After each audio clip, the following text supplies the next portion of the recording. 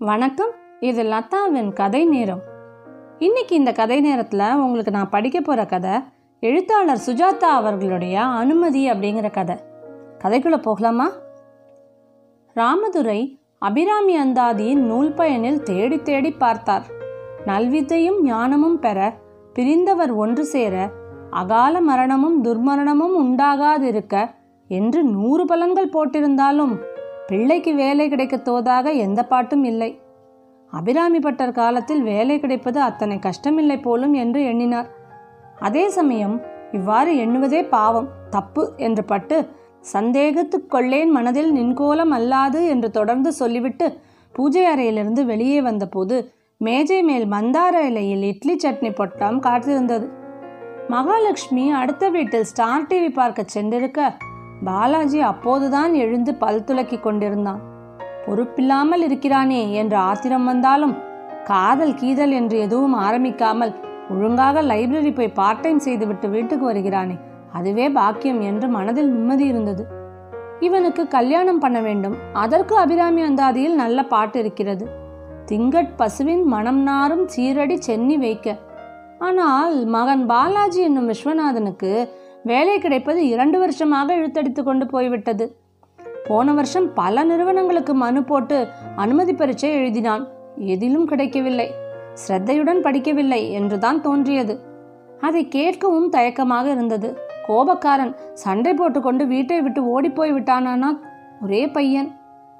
இந்த வருஷம் எப்படியாவது கொஞ்சம் கஷ்டப்பட்டு படிச்சிடேன் பாலாஜி என்றார். அவன் எம்ப்ளாய்மெண்ட் நியூஸ் விரக்தியுடன் பார்த்து கொண்டு என்னப்பா இத்தனை வருஷம் படித்து பாஸ் பண்ணி மறுபடியும் வேலைக்கு பரிச்சைன்னா போர் அடிச்சு போச்சுப்பா என்றான். லக்ஷ்மி ஹாங்காங் பணக்காரர்கள் இல்லங்களை துறந்து விட்டு அப்போதுதான் உள்ளே வந்தாள். பின்ன என்ன செய்யறதா உத்தேசம்? நான் உங்களுக்கு பாரமா இருக்கேன். இல்லை இருந்தாலும் படிப்பு முடிஞ்சு ரெண்டு வருஷம் ஆச்சேன்னு. வேலை கல்யாணம் புள்ள பெற்றுக்கிறது இதுதானே அப்பா வாழ்க்கையில் குறிக்கோள்? வேற ஏதாவது இருந்தால் சொல்லு. சாமியாரா பொண்ணுங்கிறியா? என்றாள் மகாலட்சுமி. சொல்றேன் என்றான் விரோதமாக. நீ சும்மாரு என்று மனைவியை அதட்டிவிட்டு பாரத் பரீட்சை எழுத போற இல்ல? இந்த வருஷம் அவனை பாரத் கம்பெனி பரீட்சைக்கு எழுதச் சொல்வதற்கே பெரிய போராட்டமாகிவிட்டது. எனக்கு அந்த பரீட்சையெல்லாம் பாஸ் பண்ண தெம்பில்லப்பா. ரொம்ப டஃப்பாக இருக்கு. போன வருஷம் எழுதினேன். ஒரே மாதிரி நாலு ஆன்சர் கொடுத்துருக்கான். அது எல்லாமே சரி போல இருக்கு. ரொம்ப கஷ்டமான பரீட்சை. பேப்பர் செட் பண்ணுறவன்லாம் இதுக்கு முன்னாடி யமலோகத்தில் சித்திரவதை டிபார்ட்மெண்ட்டில் இருந்தவன் போல. இன்னும் ஒரு முறை எழுதி பாரேன். கொஞ்சம் ஸ்ரத்தையாக படிச்சு. ஏதோ நீங்கள் சொல்கிறீங்கன்னு எழுதுறேன் என்றான். கிடைச்சா நல்ல வேலை தானே? நல்ல வேலை தான். இந்தியாவிலே சிறந்த வேலை தான். ஆனால் பத்தாயிரம் பேர்னா எழுதுகிறாங்க அதை பற்றி உனக்கு என்ன எனக்கு எங்கே கிடைக்க போகுது? கொஞ்சம் படித்து பாரேன். கொஞ்சம் எக்ஸ்ட்ரா ஒர்க் ரமேஷ் எழுதி பாஸ் பண்ணல? ரமேஷ் மகாலட்சுமியின் தம்பி பையன். மா எத்தனை தடவை சொல்லியிருக்கேன் ரமேஷ் வேற நான் வேறன்னு. நீ உள்ள போறியா இல்லையா? என்று அவளை ஆள்காட்டி விரலால் திசை காட்டினார். ஆமா எல்லாரும் சேர்ந்து என்ன அதட்டுங்கோ. ட்ரை பண்றேன்ப்பா. எனக்காக நீங்க ரெண்டு பேரும் சண்டை போட வேண்டாம் என்றான். அவனை பார்க்க பரிதாபமாக இருந்தது. எட்டு செமஸ்டர். ஏறக்குறைய எண்பது பேப்பர் எழுதி களைத்து அழுத்து மறுபடியும் பரீட்சை என்றால் எத்தனை அலுப்பாக இருக்கும். எத்தனை போட்டி. ஒரு வேலைக்கு எத்தனை விண்ணப்பங்கள்? இந்த உலகத்து மேலே நான் வெறுப்பு இல்லாமல் நடமாடின்றப்பதே ஆச்சரியம் என்று பனியனை மாட்டிக்கொண்டு புறப்பட்டான். எங்கே போகிறான் தெருக்கோடியில் சிகரெட் பிடிக்க. ஆஃபீஸில் அவரை தேடிக்கொண்டு விஷ்ணுமூர்த்தி என்பவர் வந்திருந்தார். ராமதுரையின் மேசை மேல் ஆப்பிள் பழங்களையும் பென்சில் செட்டையும் வைத்த போதே உஷாரானார். என்ன விஷயம்? இதெல்லாம் எதுக்கு? விஷ்ணுமூர்த்தி என்பவர் அறிமுகமாவதற்கு முன்னாலேயே சிரித்தவர். அந்த குழை சிரிப்பை ரத்து செய்யாமல் விவரம் சொன்னார். அவர் மேலதிகாரிக்கு கோரமங்கலாவில் ஒரு சைட் அலாட் ஆகியிருந்தது. அது இன்னும் லெட்டரா வரலை. விசாரித்ததில் ஏதோ பேமெண்ட் டிஃபால்ட் ஆகியிருந்ததால் அலாட்மெண்ட் கேன்சல் ஆகி கமிஷனருக்கு மனு போட்டிருக்கு. அந்த மனு ராமதுரையின் டேபிளுக்கு வந்திருப்பதாகவும் சொன்னார். ஆமா நான் என்ன செய்யணும்? என்றார். நீங்க நினைச்சா அலாட்மெண்ட் கொடுக்க சிபாரிசு செய்யலாம் என்றார். வேணுமென்றால் கவனித்துக் கொள்ளலாம் என்றார் அறையில் சுற்றுமுற்றும் பார்த்து. ராமதுரை அவரை நேராக நோக்கி லஞ்சமா? என்றார். அப்படின்னு இல்லை ஒரு கன்சிடரேஷன் எழுந்து போயா?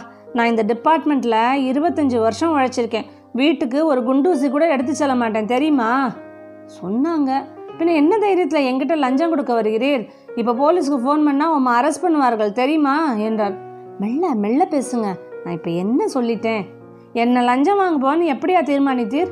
அந்த ஆசாமி ராமதுரையை நேராக பார்த்து மிஸ்டர் ராமதுரை என்னை நீங்கள் தப்பாக நினைக்கக்கூடாது. நான் லஞ்சம் கொடுக்க வரல. ஒரு விதமான பரஸ்பர உதவிக்காக வந்தேன். என் மேலதிகாரி பாரத்தில் பெரிய ஆஃபீஸர் பாரத் என்றார். உங்கள் பையன் இன்ஜினியர் வேலைக்கு அனுமதி பரீட்சை எழுதுகிறானே அதே பாரத் கம்பெனியில். ஸோ விஷ்ணுமூர்த்தி மறுபடியும் இடம் பலமாக ரேடார் போல் தலையை திருப்பி பார்த்துவிட்டு நீங்கள் இந்த அலாட்மெண்ட்டை போட்டு கொடுத்தா பரீட்சை பேப்பரை கொண்டு வந்து கொடுக்குறேன். ராமதுரையின் கை நடுங்குவதை அவர் கவனித்து பரீட்சை முடிஞ்ச அலாட்மெண்ட் கொடுத்தா போதும். ராமதுரை முடியாது. நத்திங் டூயிங் என்று சொன்னாலும் அதை அத்தனை கடுமையாக சொல்ல முடியவில்லை. பாருங்க சார் உங்களால் முடிஞ்சா சரி. இல்லை இன்னும் மேலே போகணும்னாலும் போகலாம். அதெல்லாம் இப்போ எதுவும் ப்ராமிஸ் பண்ண முடியாது. முதல்ல கேஷீட்டை பார்க்கணும். நல்லா பாருங்க. Ramadurai my officer is open ஒரே ஒரு பேப்பர் தான் வெளியே வரும். வேறு யாருக்கும் கிடைக்காது. It's a special case Ramadurai பென்சிலால் பலவாறு மேசை மேல் சுழித்து கொண்டிருக்க திங்கக்கிழமைக்குள்ளே யோசிச்சு வைங்கோ. சண்டே வீட்டில் தான் இருப்பேன். ஃபோன் பண்ணலாம் என்று விசிட்டிங் கார்டை கொடுத்தார். பரீட்சை பத்தாம் தேதி ஒரு நாலு நாளாவது டைம் வேணும் இல்லையா? என்று சொல்லிக்கொண்டு செல்கையில் கூட இது லஞ்சம் இல்லை என்று சொல்லிவிட்டு தான் போனார். ராமதுரை அவர் போனதும் இருப்பு கொள்ளாமல் யோசித்தார். அந்த ஃபைலை பார்த்தார். கொஞ்சம் சிக்கலான கேஸ் தான். பேமெண்ட் டிஃபால்ட் ஆகியிருக்கிறது. டிஃபால்ட் இல்லை என்று இவர் சர்டிஃபிகேட் கொடுத்தால் காரியமாகும். லெட்டர் கொடுக்க முடியும். முதல் தவணைகள் எல்லாம் கட்டியிருக்கிறார். நடுவில் மூன்று தடைப்பட்டு அலாட்மெண்ட் கேன்சல் ஆகி ஆக்ஷனுக்கு போகியிருக்கிறது. இன்னும் ஆக்ஷன் ஆகவில்லை. வெளிநாடு போயிருந்தேன் என்று சாக்கு சொல்லி பழைய கேஸ் ஒன்றில் விதிவிலக்கு போன வருஷம் கொடுத்தது ஞாபகம் வந்தது. இருந்தும் நான் என்ன பணம் வாங்குறேனா? லஞ்சம் வாங்கலை. ஒரு பிரசிடென்ட் படித்தான் அலாட் பண்ண போகிறேன் என்றெல்லாம் பல விதத்தில் சமாதானம் செய்து கொண்டாலும் ஆதாரமாக இது தப்பு என்பது உறுத்தியது. எந்த விதத்தில் தப்பு? இன்றைய தேதிக்கு அந்த சைட்டின் மதிப்பு மிக அதிகம். ஆக்ஷனில் போனால் எட்டு லட்சம் வரும். இந்த இலாக்காவுக்கு இருபத்தைந்து வருஷம் உழைத்ததுக்கு ஒரு சின்ன சலுகை எடுத்துக்கொள்வது போல தான் இது. எத்தனை பேர் கொள்ளையடிக்கிறார்கள்? அவரவர் ஆயிரம் கோடி ரெண்டாயிரம் கோடி என்கிறார்கள். ஸ்டாக் ஊழல் பங்கு மேலதிகாரிகளை பார். அப்படியெல்லாமா இது? ஏதோ ஒரு சின்ன விதிவிலக்கு பண்ணி ஒரு அலாட்மெண்ட் வட்டியோடு கட்டிவிடச் சொல்லி வீட்டு மனையை கொடுக்கப் போகிறேன். அதற்கு பிரதியுபகாரமாக அவன் ஒரு கேள்வித்தாளை தரப்போகிறான். பத்தாயிரம் தான் பேமெண்ட் ஆனால் இன்றைக்கு அந்த சைட் கோரமங்கலாவில் எட்டு லட்சம் போகும் என்பதை பற்றி அவர் நினைக்க மறுத்தார். வீட்டுக்கு வந்தபோது லக்ஷ்மியிடம் சொன்னார் பேசாமல் செஞ்சிடுங்கோ. என்ன பணமா காசா? இவனுக்கும் ஸ்திரமாக வேலை கிடைச்சிரும். கிடைச்சா கல்யாணத்துக்கு பொன் கொடுக்க காத்துன்ருக்கா. நம்ம கஷ்டம் கவலையெல்லாம் தீந்து போயிடும். இவனும் என்னை தொந்தரவு பண்ணுறத நிறுத்துவான். தொந்தரவு பண்ணுறானா எதை கேட்டாலும் எதிர்த்து பேசுகிறான் உங்கள் பிள்ளை இன்னைக்கு என்னை அடிக்கவே வந்துட்டான். எங்கே அவன்? லைப்ரரிக்கு போயிருக்கான். உங்கள் மேலே இருக்கிற ஆத்திரத்தை எல்லாம் எங்கிட்ட காட்டுறான். நான் என்ன செஞ்சேன்னா சரியாக வேலை வாங்கி கொடுக்கலன்னு அவனுக்கு குறையோ என்னவோ. ஏதும் செய்ய வேண்டாம். அவனுக்கு அந்த பேப்பரோ என்னமோ சொன்னேலே அதை வாங்கி பாஸ் பண்ண வச்சிருங்கோ. நம்ம பொறுப்பு முடிஞ்சுது. அப்புறம் கல்யாணம் பண்ணா பண்ணிக்கிறான் இல்லைன்னா எக்கேடோ கட்டு போட்டோம் வாங்கி கொடுத்துருங்கோ. வீட்டில் இருந்தால் எனக்கு பைத்தியமே பிடிச்சிரும். தினப்படி இருபது ரூபாயை கொண்டாங்கிறான். எதுக்குடான்னு கேட்டால் நீ யார் கேட்குறது அப்பா சம்பாதிக்கிறாருங்கிறான். முரட எனக்கு இந்த வீட்டில் என்ன உரிமை இருக்குது புலம்பாத முதல்ல. பையனை பற்றி புகாரை முடிச்சாச்சா இல்லையா? உங்களுக்கு விளையாட்டாக இருக்குது நான் தான் வீட்டில் இருபத்தி நாலு மணி நேரமும் கஷ்டப்படுறவ எனக்கு எடுத்து பேசுகிறான் தெரியுமா? அவனை பற்றி கேட்க கேட்க அவன் மேல் இல்லை. இதை தட்டி கேட்க முடியாத அல்லது விரும்பாத தன் கையாலாகாத்தனத்தின் மேல் ஆத்திரம் வந்தது. சரி சரி சாயங்காலம் வந்ததும் கேட்டுறேன் என்றார். கேட்க மாட்டீங்க அதுக்கெல்லாம் தைரியம் எங்கே இருக்குது பேசாமல் அந்த பேப்பரோ என்ன எழவோ அதை வாங்கி கொடுத்துருங்க. ராத்திரி பாலாஜி வந்தபோது அவனிடம் காட்டமாக சிகரெட் வாசனை அடித்தது. கேட்க விருப்பமில்லை. சிகரெட் தானே? ட்ரக் பழக்கம் இல்லையே என்று எண்ணிக்கொண்டார். இருந்தும் அவன் மேல் கோபம் வந்தது. என்ன ஒரு பொறுப்பில்லாதவன்? பையில் மெலிதாக தெரிந்த வெல்ஸ் பேக்கெட் அவரை சீண்டியது. என்ன பாலாஜி பரீட்சைக்கு எப்படி படிக்கிற இனிமே தான் ஆரம்பிக்கணும். இந்த வருஷம் பாட்டனை மாற்றிருக்கலாம் எனக்கு என்னவோ சான்ஸே இல்லைப்பா. எனக்கு தெரிஞ்சவர் ஒருத்தர் பாரத்தில் வேலை பார்க்குறார். அவர் சில குறிப்புகள் மாதிரி கொடுக்குறேன்னு இருக்கார். அப்படியா? என்றான். பரவாயில்லையே. அவர் அட்ரஸ் கொடுங்கப்பா. நான் போய் பார்த்துட்டு வரேன். அவரே என்னை பார்க்க வருவார். ஏதாவது ஹிண்ட் கிடைச்சா அதிர்ஷ்டம் அடித்து பாஸ் பண்ணாதான் சரி. ரொம்ப கஷ்டமான பரீட்சை என்றான் இந்த தடவை பாஸ் பண்ணிடுவா பாலாஜி. ஏன்? அபிராமி அந்தாதி ரெண்டு வேளை சொல்ல ஆரம்பிச்சிருக்கீங்களே அதனாலயா? அம்மா கூட என்ன சண்டை? எதிர்த்து பேசுனியாமே. அம்மா நான் சொல்கிறதெல்லாம் உங்ககிட்ட சொல்கிறா அவன் என்கிட்ட கேட்குற கேள்விகள் எல்லாம் சொல்கிறாளோ சொல்ல மாட்டாப்பா. அம்மா சில வேளை என்னை எப்படிலாம் திட்டுறா தெரியுமா? தண்ட சோறுங்கிற போதெல்லாம் எத்தனை ஆத்திரம் வரும் தெரியுமா? இருந்தாலும் அவள் உன் அம்மா தானேடா அவள் அதை சொல்லுங்க. ஞாபகப்படுத்துங்க இவனுக்கு. சின்ன வயசில் மாந்தம் வந்து எத்தனை கஷ்டப்பட்டிருக்கேன்னு சொல்லுங்க என்றால் உள்ளே நுழைந்ததுமே. எல்லாத்துக்கும் ஒரு லிமிட் இருக்கு இல்லையா? ஒவ்வொரு முறையும் பணம் கொடுக்குறப்போ பிச்சைக்காரன் மாதிரி ஃபீல் பண்ண வைக்கிறா. எப்போ பார்த்தாலும் ரமேஷோட கம்பாரிசன் இனிமே அவனுக்கு பணம் கொடுக்குற காரியத்தை என்கிட்ட ஒப்படைக்க வேண்டாம் சொல்லிட்டேன். ஷட்டப் என்றான். பார்த்தீங்களா கேட்டுட்டே இருக்கீங்களே. என்ன பண்ண சொல்கிற வளர்ந்த பையனை அடிக்க முடியுமா? அது ஒன்று தான் பாக்கி. ராமதுரைக்கு வந்த கோபத்தில் இவனை ஏன் பெற்றோம் என்று தோன்றியது. ஒரே சவட்டு சவட்டலாம் என்ற ஆத்திரம் விஷ்ணுமூர்த்தி வந்ததால் அடங்கிவிட்டது. பாலாஜி தன் அறைக்கு போய்விட்டான்.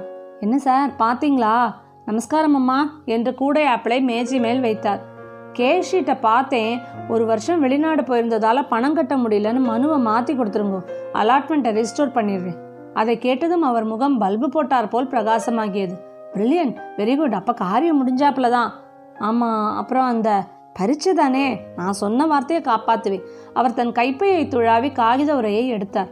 இதை பையனிடம் கொடுத்து விட்டு இது மாதிரி வரும்னு சொல்லிடுங்க. வேற எதுவும் சொல்ல வேண்டாம். அதெல்லாம் ப்ராப்ளம் இல்லை. அப்போது பாலாஜி உள்ளே வந்தான். பாலாஜி நான் சொல்லலை? பாரத்தில் நம்ம ஃப்ரெண்டுன்னு இவர் தான் நமஸ்காரம் சார் உங்கள் கம்பெனி பரீட்சை ரொம்ப டஃப்பாக இருக்கு. இவர் தான் பரீட்சை பற்றி ஹிண்ட்டு கொடுக்குறார். பாலாஜி அந்த கவரை பார்த்தான். இதில் இருக்கிற மாதிரி வரும் கேள்விகள் எல்லாம். இது மாடல் பேப்பர் மாதிரி. அப்படியா? ரொம்ப தேங்க்ஸ் சார் இந்த முறையாவது ஆனஸ்டாக முயற்சி பண்ணி பார்க்கலாம் என்று அவன் அதை வாங்கி கொண்டான்.